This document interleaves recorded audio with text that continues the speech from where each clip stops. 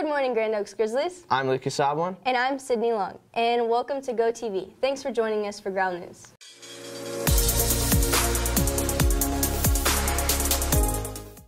Please stand and join us for the U.S. Pledge of Allegiance. I pledge allegiance to the flag of the United States of America and to the republic for which it stands, one nation, under God, indivisible, with liberty and justice for all. And now for the Texas Pledge. Honor the Texas flag. I pledge allegiance to thee, Texas, one state under God, one and indivisible. A very special hello, Grand Oaks Grizzlies, from your little cubs in the preschool. As most of you know, we have some very special little Grizzlies on campus, and some of you may be wondering, where are these cuties coming from, or why are they here? These preschoolers are part of our education and training pre-employment program here on campus. We are located directly across from the front office in room 1208. We wanted to take the opportunity to say thank you for being respectful and aware of our little ears and eyes when you walk down our hallway. We look up to our big grizzlies and want to thank you for using appropriate language and behavior not just down our hallway but anywhere on campus. After all, you are who we want to be when we grow up. We also are grumpy little bears when we don't get our rest, so please be aware that we are resting and napping during the afternoon hours during D-lunch, 7th, and 8th periods. We appreciate that you demonstrate our Grizzly Growl when we see you are great role models for us. We hope you will wave to us when you see us or ask us to give you the best Grizzly Growl. Thanks very much. Grand Oaks Orchestra would like to invite everyone to their bone-chilling fall concert this Tuesday, October 29th at 7 p.m. It is sure to be a spooky, scary affair, complete with music from A Nightmare Before Christmas, Lord of the Rings, and other hair-raising classics performed by many of your favorite characters.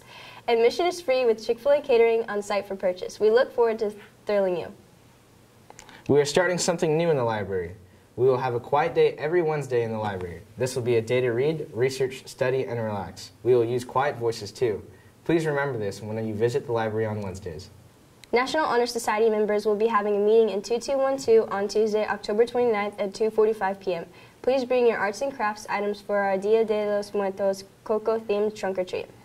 Theater will be performing The Tempest this Friday and Saturday at 7 p.m. in the Black Box. Tickets are available on School Cash online or at the store before the show. Seating is limited, so get your ticket early for this amazing show. Congratulations to Hayden Eubank for coming in ninth place at regional cross country meet. He now qualifies to run at state meet in Austin on November 9th.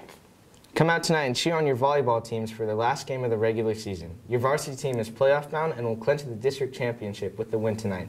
And we need all of our Grizzlies getting rowdy in the stands.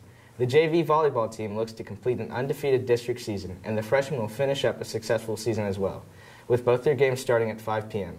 Varsity will begin at 6 p.m. We hope to see you all there. Oh, and free popcorn and water for all students.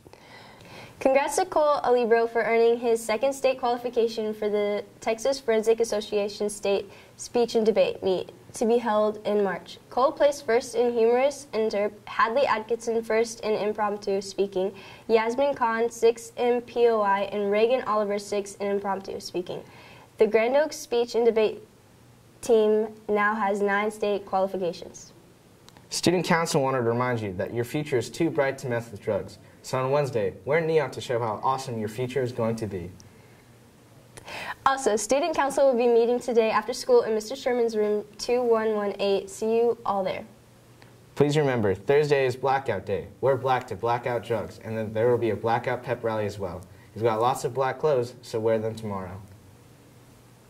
Friday, Student Council is asking everyone to join the war on drugs by having a class color war. Show your class spirits by wearing the color of your class. Freshmen are wearing gray, sophomores are wearing orange, and juniors are wearing blue. Represent your class and wear your colors on Friday. This completes our news for today. Be sure to tune in tomorrow for another Growl News. Thank you for watching Go TV. And remember, it's, it's always, always, a great, great day, day, to be a grizzly. grizzly.